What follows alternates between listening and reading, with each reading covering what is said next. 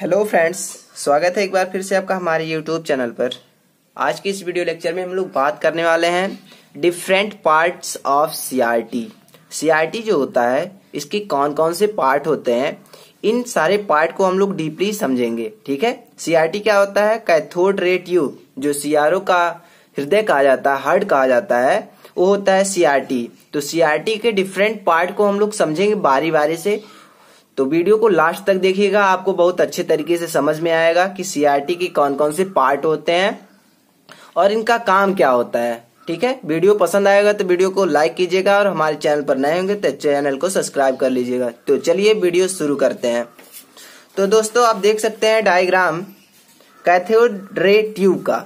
यहाँ पे देख सकते हैं, सबसे पहला होता है आपका बेस ठीक है? जहाँ से हम लोग कनेक्शन देते हैं, उसको बोलते हैं बेस तो सीआरटी का जो डायग्राम है, कुछ इस तरह से होता है। आप इसका स्क्रीनशॉट भी ले सकते हैं और आप अपने से बना भी सकते हैं इसको। तो पहला इसका जो पार्ट होता है, यहाँ पे देख सकते हैं हीटर ठीक है? यहाँ पे होता है हीटर ये वाला जो पार्ट है, ये हीटर होता है।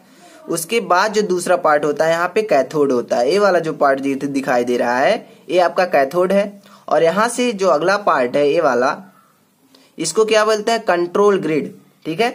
अब अगला पार्ट जो आता है ए वाला पार्ट इसको क्या बोलते हैं? प्री एक्सिलरेटिंग एनोड ठीक है? इसको शॉर्ट में बोलते हैं पी ए ए ठीक है? अगला जो पार्ट आता है, इसका ए वाला पार्ट इसको क्या बोलते हैं? फॉक्सिंग एनोड इसको शॉर्ट में बोलते हैं एफ़ ए अगला जो पार्ट आता है यहाँ से, इसको क्या बोलते हैं?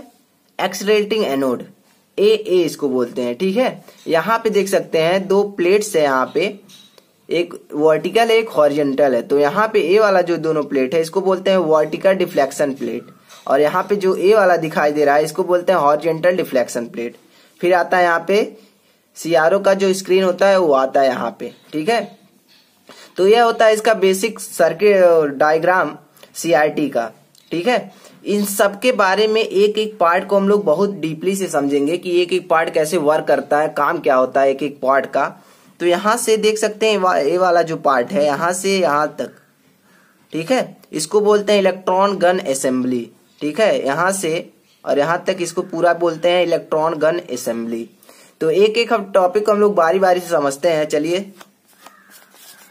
तो सबसे पहले आता है आपका electron gun assembly electron gun assembly में क्या होता है कि the source of focused and accelerated electron beam is the electron gun तो जो इलेक्ट्रॉन गन होता है, उसका काम क्या होता है? फोकस करने का काम होता है। इलेक्ट्रॉन को जनरेट करता है, फिर वहाँ से फोकस भी करता है, एक्सिलरेट भी करता है। ठीक है?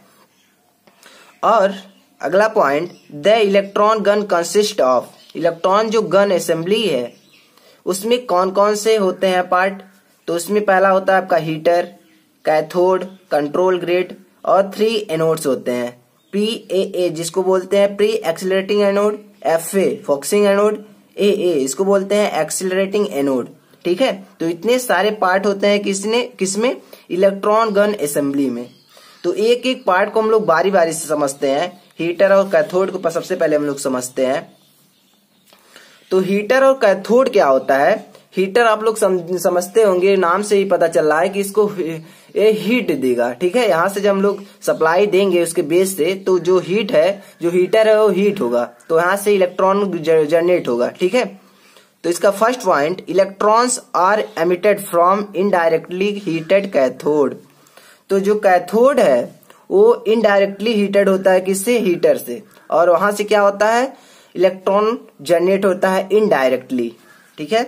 अगला point a layer of barium and strontium oxide तो जो लेयर होता है, जो कैथोड का लेयर होता है, वो बेरियम का होता है या फिर स्ट्रेंसियम का स्ट्रेंसियम ऑक्साइड का होता है, ठीक है?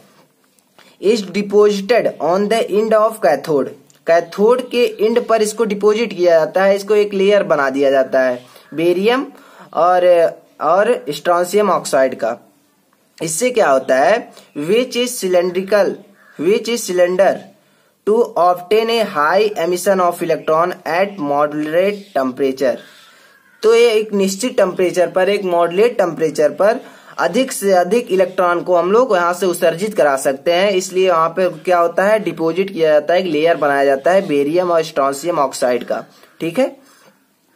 अब अगला पॉइंट आता है आपका कंट्रोल ग्रिड कंट्रोल ग्रिड का, काम क्या होता है? ठीक है इसको हम लोग समझते हैं। तो control grid the electron are passing through a small hole in control grid तो कंट्रोल ग्रिड जो होता है उसमें एक स्मॉल छिद्र होता है होल होता है जहाँ से इलेक्ट्रॉन पास करता है। ठीक है? अगला point the control grid is usually a nickel cylinder with a controlling located holes coaxial with CRT axis तो जो कंट्रोल ग्रिड होता है, वो निकेल का बना होता है, ठीक है? सिलेंडर नुमा होता है, निकेल का बना होता है। और इसका काम क्या होता है कि जो सीआरटी का एक्सिस होता है, उस पर फोकस करने का काम करता है, ठीक है? कंट्रोल करने का काम करता है कंट्रोल ग्रिड का।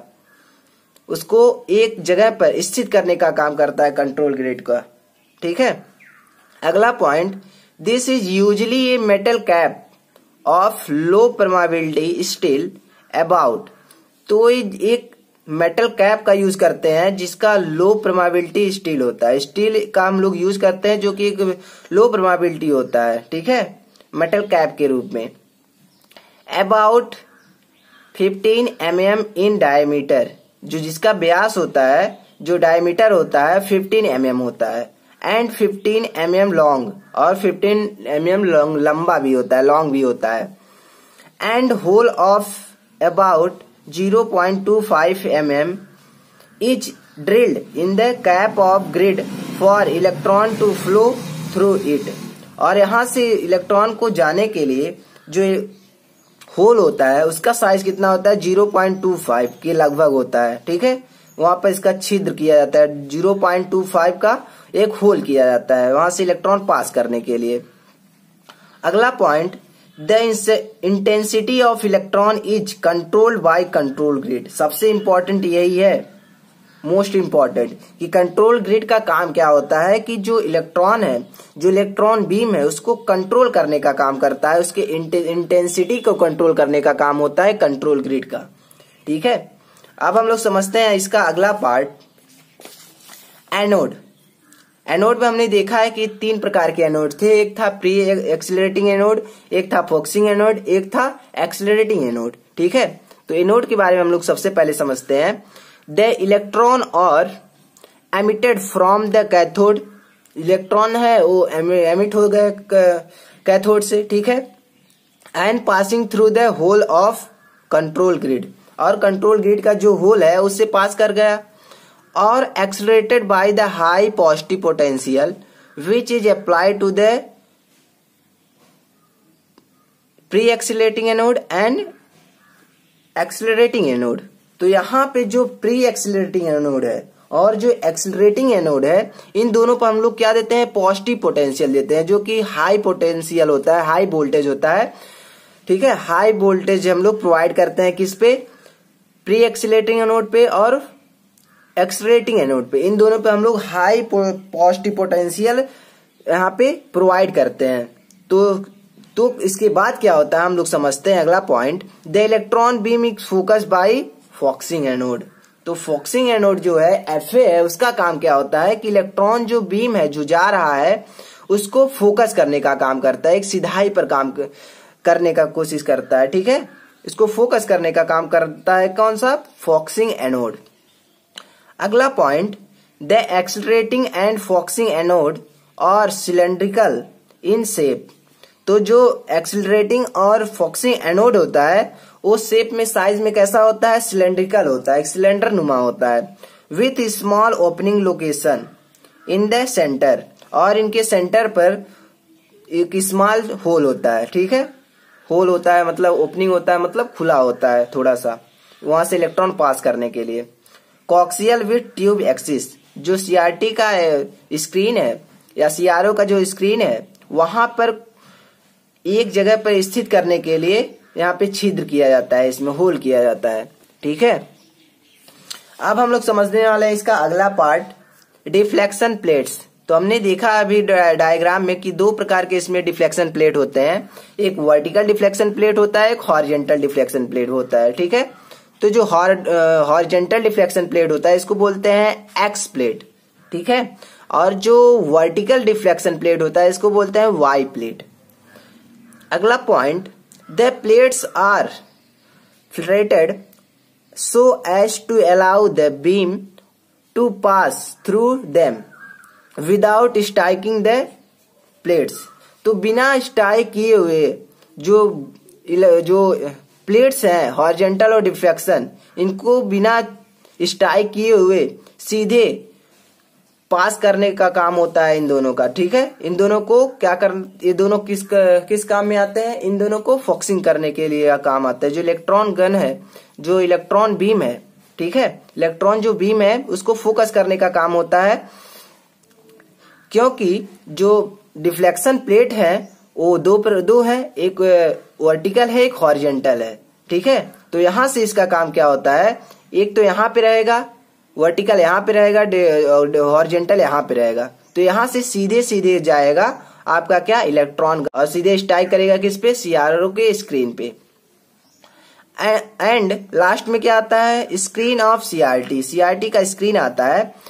The screen materials on inner surface of CRT is called phosphorus तो जो इनर मटेरियल जो सरफेस है, जो सीआरटी का जो स्क्रीन है, उसका जो सरफेस है, अंदर का जो सरफेस है, उसका जो मटेरियल है, ठीक है, उसको बोलते हैं phosphor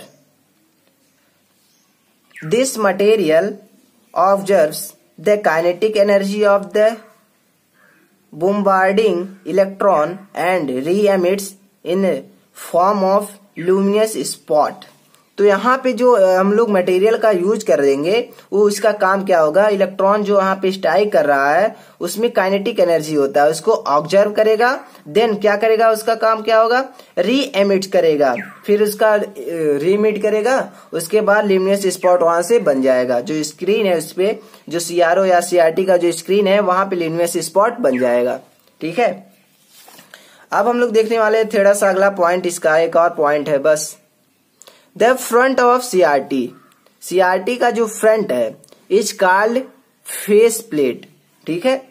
जो सीआरटी का फ्रंट है, इसको बोलते हैं face plate the face plate is formed by pressing molten molten glass in a mould some CRT have face plate made from the fibre optics तो कुछ ऐसे भी सीआरटी के फेस प्लेट होते हैं जो फाइबर ऑप्टिक्स के बने होते हैं, ठीक है? और कुछ ऐसे भी होते हैं सीआरटी का फ्रंट जिसको बोलते हैं फेस प्लेट वो क्या होता है? कुछ मॉल्टन ग्लास का भी बना होता है, ठीक है? तो आई होप यह वीडियो लेक्चर आपको अच्छे से समझ में आया होगा कि सीआरटी क्या होता है और सीआरटी के विभिन्न जो डिफरेंट पार्ट्स होते हैं, वो कौन से होते हैं। ठीक है? तो thanks for watching this video thank you so much मिलते हैं अगले वीडियो में. तब तक जय हिंद।